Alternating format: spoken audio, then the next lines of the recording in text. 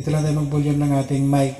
So, pwede naman natin siyang i-adjust dito sa ating mixer. Hello mga idol, ano, ang ating wireless microphone at saka B8. So, shoutout pala sa isa nating viewers na si Idol Janil Salio. So, mayroon siyang katanungan para natin i-connect yung wireless sa B8 at saka sa ating mixer. Gagawin lang natin dito, dun sa mga hindi pa nakakasunod, itong ating wireless receiver, katulad nito, ayan. So, mayroon siyang output na PL. PL jack, ano, 6.35. Mag-output tayo dito mga idol. So, dalawang wireless microphone na natin ang magagamit natin. So, ang pinakadulo naman ito dapat mga idol ay 3.5 ano? 6.35 to 3.5. Ito yung i-input natin sa ating B8 ano sa kanyang microphone. Itong dalawa na to. So kung dalawa man ang ating wireless receiver mga idol, pwede natin ito magagamit pang isang microphone ng ating B8 no. So ang gagamitin lang natin dito ganun pa rin uh, 3.5 to 6.35. So pag halimbawa mga idol, uh, pwede naman tayo gumamit dito ng dynamic mic. So gagamit lang tayo ng adapter. Ito lang yung gagamitin natin na adapter. So depende kasi sa B8 na brand yung mabibili natin. Mayroon naman siyang dynamic mic, mayroon naman siyang 3.5 microphone input. So kung halimbawa mga idol, um, dalawa yung wireless receiver natin na ginagamit, isa lang din ang output na gagamitin natin dito. Itong ating B8. So ganun din idol ano, ang ating gagamitin. Kung mayroon tayong direct na 3.5 to 6.35, ito rin yung gagamitin natin sa ating output ng ating B8. So monitor, ayan. Gusto nyo naman mga idol na padaanin natin yung ating B8 sa ating equalizer na bago isend sa ating mixer, ma-tuning natin ng maayos, isang channel lang gagamitin natin dito. Kahit yung channel 2 o yung channel 1. So ito lang i-input natin sa ating equalizer input. Ayan. 6.35, yung dulo nito ay yung nanggagaling sa output ng ating B8. Ayan. So, ang susunod naman natin gagawin mga idol, mag-output tayo dito sa ating equalizer. So, 6.35 to 6.35 pa rin yung gagamitin natin na PL jack dito. Dahil yung mga available ng ating connection dito ay 6.35. So, output tayo dito.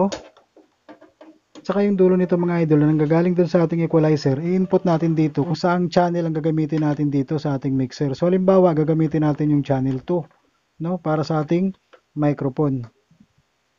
So kung halimbawa naman mga idol na hindi tayo gagamit ng equalizer sa ating microphone bago mag-input tayo dito sa ating mixer. So ang dulo nito mga idol na 6.35 na nanggagaling dito sa ating output na in-input natin sa equalizer dahil hindi tayo gagamit ng equalizer, i-direct na natin to dito sa mic input, line input ng ating mixer. So channel 2 ang ginamit natin dito. So ganun lang mga idol ano. At, at saka yung volume na gagamitin natin dito mga idol, itong feeder. Ayan. So kung halimbawa okay na tayo sa ating microphone para dito sa ating mixer. So ang susunod natin gagawin mga idol, source naman ng music natin. So kung halimbawa ang gagamitin natin na pang source ng music natin ay DVD ano. So ang gagamitin natin dito ng mga jack ay dual 6.35 to dual RCA. So ang RCA natin mga idol, i-output natin dito sa ating source ng music katulad ng DVD.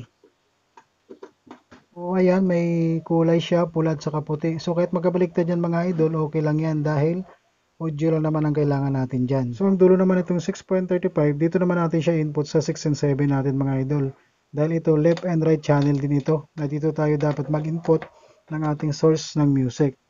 Ayan, so may source na tayo ng music. Ayan, mayroon na rin tayong microphone input. So, ang susunod natin gagawin mga idol, mag-main output tayo dito sa ating mixer. So, 6.35 pa rin yung gagamitin natin. So, left and right channel ng ating mixer. So, pinakadulo nito mga idol, pag gumamit tayo ng equalizer, itong gagamitin natin. 6.35. Input lang natin to dito. Ayan. At saka sa channel 2 ng ating equalizer. So mayroon na tayong connection sa ating main output ng ating mixer papunta dun sa ating input ng ating equalizer. So ang ginamit natin dyan 6.35 na PL jack dual po yan. So doon naman tayo mga idol sa output ng ating equalizer. So kung single amplifier ang gagamitin natin, ito lang gagamitin natin na jack ano, dual 6.35 at saka dual RCA. So output tayo dito sa ating equalizer channel 2 at saka channel 1.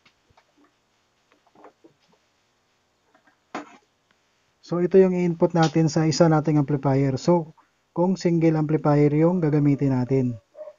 So kung dalawang amplifier ang gagamitin natin mga idol, magbabago lang tayo dito ng output. Ito lang gagamitin natin na chord na 6.35 to dual RCA. So dalawa yan. Itong isa, i-output natin ito sa ating channel 1. At saka itong isa sa channel 2.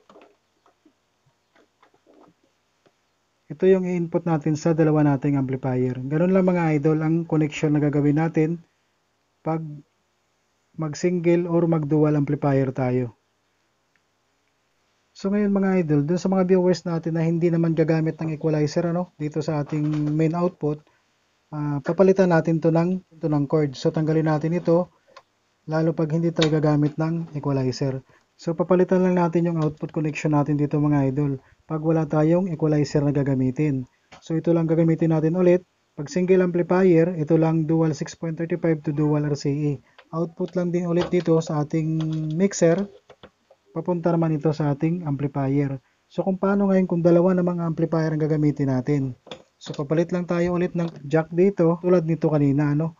Doon sa ating equalizer na ginamit din. So ito dalawang 6.35 na to na mayroong dual RC ang dulo dito lang din natin siya sa ating left and right channel so ayan dalawang amplifier natin magagamit So ito mga idol yung ating input sa ating wireless microphone na dumaan sa ating B8. So ang volume na gagamitin natin dito mga idol itong uh, feeder ano, ng ating mixer. So ang susunod naman dito yung ating main volume. Dapat nakaangat po yan para may output yung ating microphone or music dito sa ating connection papunta sa ating amplifier. So ayan yung ating wireless microphone. So pag gumagamit tayo ng music mga idol, dito na rin tayo mag-volume.